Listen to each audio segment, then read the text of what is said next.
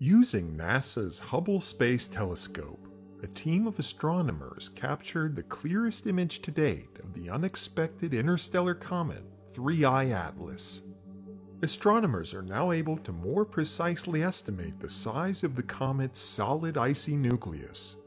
Its estimated diameter is no bigger than 3.5 miles across, but potentially as small as 1,000 feet across.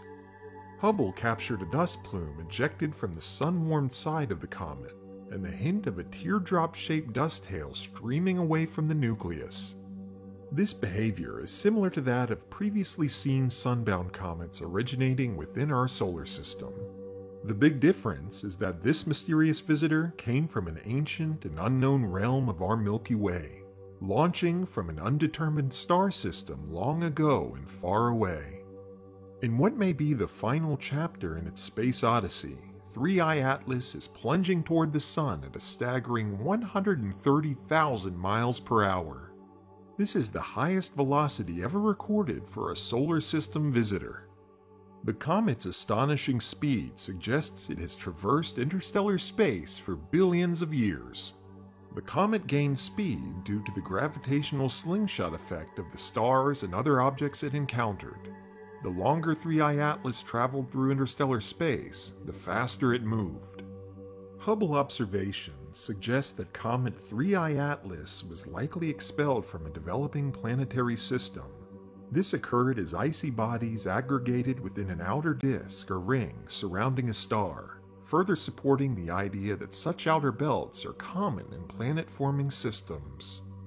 Another possibility is that 3I Atlas is just a fragment of a small icy planet that came too close to a white dwarf star, disintegrated under the stress of gravity, and sent its shards cannonballing back into space.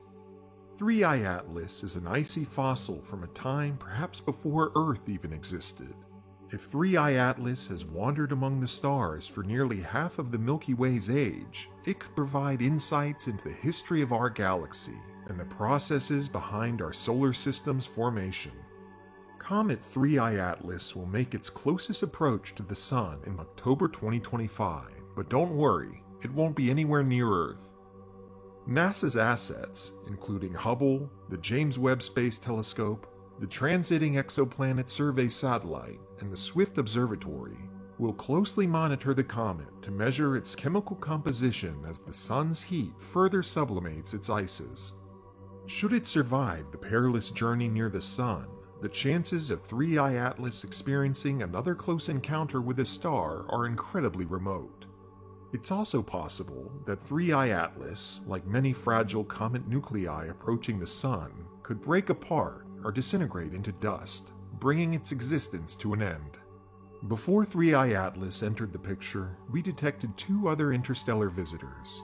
1I Oumuamua in 2017 and Comet 2I Borisov in 2019. With numerous advanced observatories now scanning the skies, we should find many more interstellar objects visiting our solar system. Each new discovery offers astronomers valuable insights into both our own solar system and the distant universe beyond.